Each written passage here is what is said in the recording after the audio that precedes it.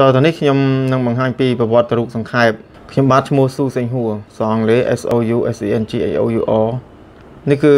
ខាងនេះជាឪពុកម្ដាយខាងប៉ាចិញ្ចឹមរបស់ខ្ញុំហើយនេះគឺជាឪពុកម្ដាយរបស់ម្ដាយចិញ្ចឹមរបស់ខ្ញុំ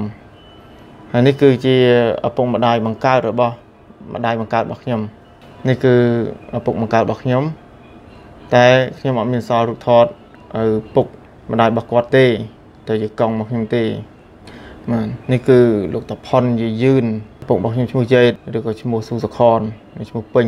ម្ដាយរបស់ខ្ញុំឈ្មោះចាំងសូរៀមនេះឪពុកម្ដាយរបស់គាត់គឺកង់ចាំងឈីវបាទគឺចិនកតាំងម៉ារបស់ខ្ញុំនេះគឺចិនទីជីវឈ្មោះប៊ុនស្រុនម្ដាយរបស់ខ្ញុំឈ្មោះចាំងសូរៀមអញ្ចឹងនេះគឺឪពុកម្ដាយរបស់ប៉ាចិញ្ចឹមខ្ញុំហើយនេះគឺឪពុកម្ដាយរបស់ម៉ាក់ចិញ្ចឹមខ្ញុំហើយនេះគឺកង់ ខ្ញុំគឺកងឃឹមហើយនឹងលោកយាយហួយម្ដាយរបស់ខ្ញុំបង្កើតឈ្មោះសេងងួនហើយពុករបស់ខ្ញុំឈ្មោះហួរសេងហៅហើយនេះគឺម៉ាក់ចុងរបស់ខ្ញុំខ្ញុំកើតនៅថ្ងៃ1ខែ7 1985បាទតាមពិតទៅខ្ញុំដាក់តាមតញ្ញាបានគឺខ្ញុំកើត1984ទេនៅភូមិស្វាយជ្រុំស្រុកសេចក្ដាខេត្តកដាលប្រទេសកម្ពុជាខ្ញុំមានបងប្អូនបង្កើត4នាក់2នាក់គឺម្ដាយទីតីហើយ2នាក់ទៀតគឺឪពុកម្ដាយតែមួយតែម្ដងគឺ ខ្ញុំមានបងប្រុសម្នាក់បងស្រី2នាក់តែដែលឪពុកម្ដាយតែមួយហ្នឹងគឺតែម្នាក់ទេគឺបងស្រីរបស់ខ្ញុំតែថ្ងៃគាត់នៅស្វាយជ្រុំសុកសក្តាខេត្តកដាលហ្នឹងឯងហើយម្ដាយរបស់ខ្ញុំបានលាចាកលោកទៅតាំងពីអាយុ3ឆ្នាំដោយជំងឺមហារីកស្បូនអញ្ចឹង3ឆ្នាំខ្ញុំមកនៅជាមួយនឹងគាត់ដែលជាឪពុកម្ដាយចិញ្ចឹមរបស់ខ្ញុំហើយនេះគឺរូបថតខ្ញុំកាលពីនៅតូចនេះខ្ញុំអាយុប្រហែលជា6 7ឆ្នាំកាលនេះខ្ញុំអាយុប្រហែលជាខ្ទង់7 4 4ឆ្នាំ5ឆ្នាំនេះ ហើយនេះគឺបងស្រីរបស់ខ្ញុំតែគាត់យកមកចិញ្ចឹមដែរក៏ប៉ុន្តែឪពុកម្ដាយគេយកទៅវិញអញ្ចឹងខ្ញុំនៅតែម្នាក់ឯងដដែលនេះខ្ញុំថតជាមួយនឹងយាយខាងប៉ាចិញ្ចឹមខ្ញុំនេះបាទហើយនេះនៅផ្ទះគាត់នៅព្រែក7ស្រុកសេចក្ដាខេត្តកដាលនេះគឺបងចដូនមួយខ្ញុំតែគាត់ទៅម៉ាឡេគាត់ឈឺគាត់ស្លាប់បាត់ហើយកាលពីប្រហែលជាឆ្នាំ2001កាលពីឆ្នាំប្រហែលជាខ្ទង់1998 99គាត់ស្លាប់បាត់ហើយនេះគឺចដូនមួយខ្ញុំបងប្អូនចដូនមួយខ្ញុំ នេះរូបថតខ្ញុំកាលជាខ្ទង់អាយុ4ឆ្នាំ5ឆ្នាំហើយនេះការខ្ញុំចាំបានប្រហែលជាខ្ញុំឡើងមកការពូខ្ញុំនៅភ្នំពេញហើយថតនេះប្រហែលជានៅម្ដុំសាកដាលនៅភ្នំពេញនេះគឺយាយរបស់ខ្ញុំហើយនេះគឺជាពូខាងម៉ាក់ចាំខ្ញុំប្អូនម៉ាក់ចាំខ្ញុំគាត់ជាវិជ្ជាបណ្ឌិតផ្នែកវិទ្យាកាត់នៅពេលលោកសង្ឃតែឥឡូវគាត់ក៏អត្រេតដែរនេះថតខ្ញុំសេះសល់នៅរៀននៅមហាវិទ្យាល័យនៅនិមនេះគឺជាប្រវត្តិនៃការសិក្សារបស់ខ្ញុំ ចឹងប្រវត្តិដែលខ្ញុំរៀនយ៉ាងម៉េចខ្លះយ៉ាងម៉េចខ្លះហើយខ្ញុំចាប់ដើមប្រឡូក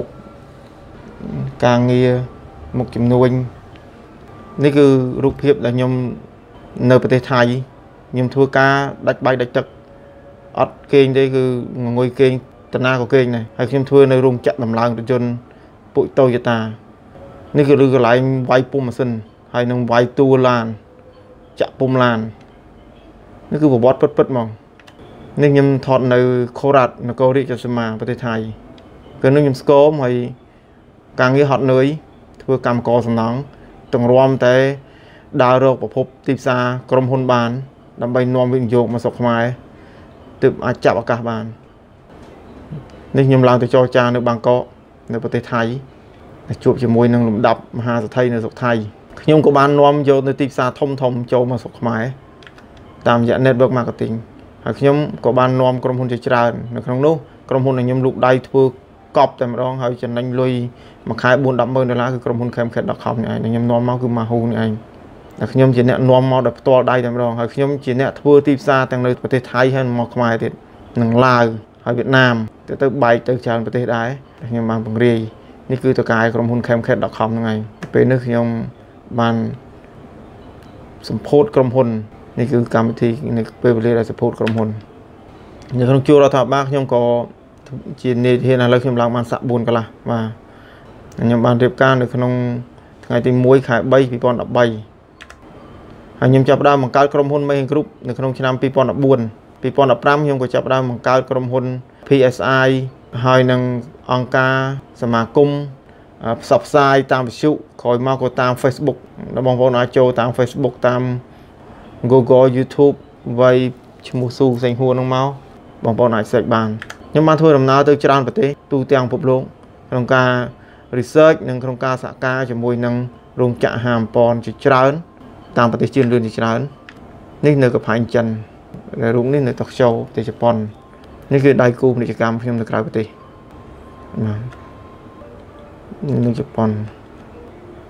តូក្យូ នេះភ្នំគឺភ្នំហ្វូស៊ីតែមានកម្ពស់3700ម៉ែត្រភ្នំតកកនេះគឺវាំងនៅប្រទេសចិននៅប៉េកាំងហើយក្រៅពីនេះខ្ញុំក៏ចូលជួយដល់វិភាគទានឬក៏ជួយទៅដល់សិល្បៈផងដែរ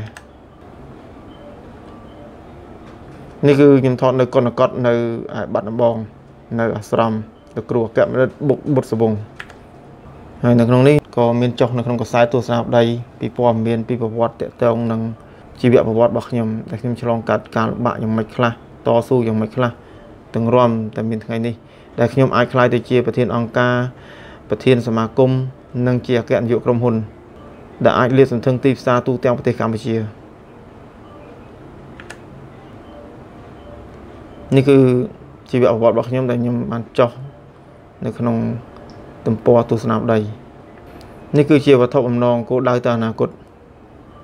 តែគ្រាន់តែគោលដៅទៅទៅពេលអនាគតនេះវាមិនអាស្រ័យលើការគិតឬការខំប្រឹងរបស់ខ្ញុំតែឯងទេវាអាស្រ័យលើប្រជាជនមកប្រទេសហ្នឹងគិតយ៉ាងម៉េចចង់បានយ៉ាងម៉េចនឹងតាមហ្នឹងទៅព្រោះគ្មានវិណាហ៊ានធ្វើដូចខ្ញុំទេតែខ្ញុំហ៊ាន